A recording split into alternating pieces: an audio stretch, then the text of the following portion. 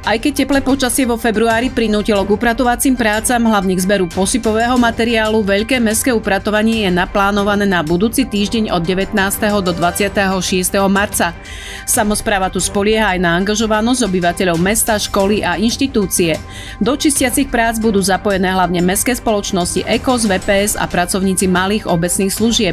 V meste budú na 17 stanovištiach rozmiestnené po dva veľkoobjemové kontajnery a to na zmesový komunálny odpad a na tzv tzv. zelený bioodpad, teda konáre, lístie a nahrabaný odpad, ktoré budú pravidelne odvážené spoločnosťou EKOS. Zoznam rozmiestnenia veľkoobjemových kontajnerov v zástavbe rodinných domov sa dá nájsť na webových sídlach mesta a ľubovnianskej mediálnej spoločnosti.